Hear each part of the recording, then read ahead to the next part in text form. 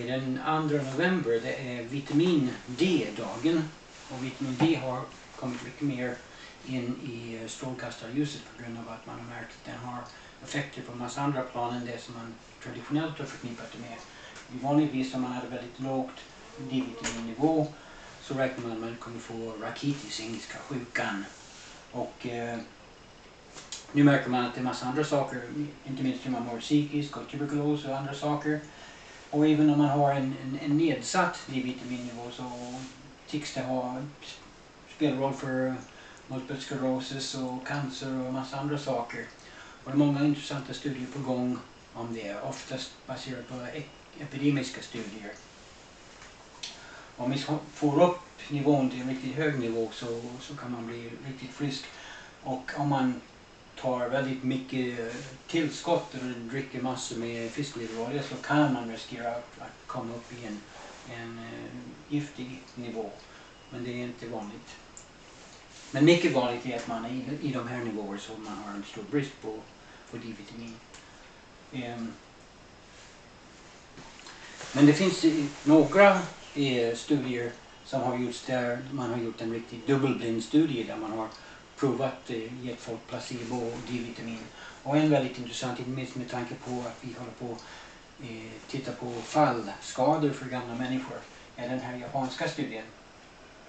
Och de delade upp det i 48 fick eh, D-vitamin, tusen internationella enheter och de andra fick en placebo och uppföljning under två år.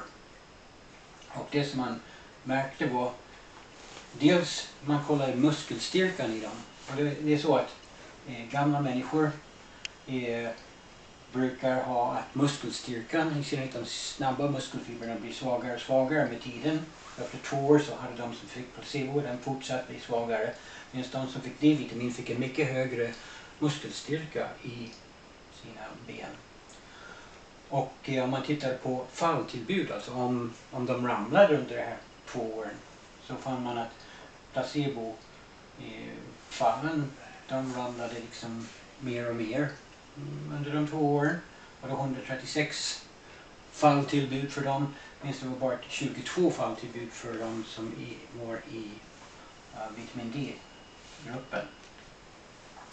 Och eh, när det gällde höftfrakturer så i placebogruppen, alltså utan D-vitamin, så fick fyra med höftfraktur och i D-vitamingruppen ingen. Dels så fall, föll de mindre och dels hade de starkare ben och kunde kontrollera fallet bättre. Så de hade 50% över 50% större muskelstyrka. Så. Och då kan man fråga sig hur ska man få D-vitamin? Och man kan tänka sig ja, vissa saker som fisk kan ha mycket D-vitamin. Så här om man har 100 gram laxpudding så skulle man kunna få 460 D-vitamin enheter då. Eh, men om man jämför detta med vad man kan få av en halvtimme sol. Där är 10 000 enheter jämfört med 460 där.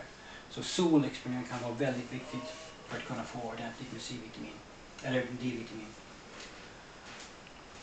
Och eh, viktigt för det här liksom att om man ska ha sol så gäller det att solen ska vara så pass högt på himlen så att den ger någon UVB-strålning som kan ge D-vitamin. Hur, mycket hud som exponeras och också vilken färg man har på huden. Så till exempel de som har eh, mörkare hud en person som kanske behöver bara 20 minuter för att uppnå en lämplig D-vitaminnivå för en person med, med mörk, mörk hy kan behöva 120 minuter för samma effekt. Om man kan se i statistik om man mäter på till exempel norrmän i gemen vilken eh, D vitamin de har i blodet under olika årstider och så jämför det med pakistanier som har invandrat dit så ser man att de har mycket lägre så att en person med mörk hy har mycket större risk att få en underskott på D-vitamin. Ja, jag kommer att ha några länkar här som går till jag har tagit de här bilderna från flesta från en mycket bra föreläsning av Dr. Humble. Jag ska länka om det till videon. Okej, okay, glad vitamin D-dag. Nej, två, en, två saker till. Eh, nu kan vi inte få någon D-vitamin från, D-vitamin från solen. Men man kan få från eh, sådana här lampor som var vanliga på kanske 50-talet. Du kanske kan få tag i en sån på en andrahandsbud. Bod. Och eh, ha några glasögon för att skydda ögonen. Jag har också skaffat en, en apparat för att kunna mäta UVB för att se liksom, ja, kanske den här gamla lampan inte fungerar men, men om jag tar och, och mäter på den så, så kan jag se att eh, den eh, ger, beroende på avstånd, ja, över 400 internationella enheter per minut. Eh, och om det, det gäller om man har 10% exponering, alltså ansikte, händer och arm, underarmar. Ja, så om någon behöver få en mätning och en lampa så kan jag erbjuda tjänsten här och mäta det. Okej, okay, se till att ni äter D-vitamin eller exponeras för UVB-strålning. Gör det med förstånd.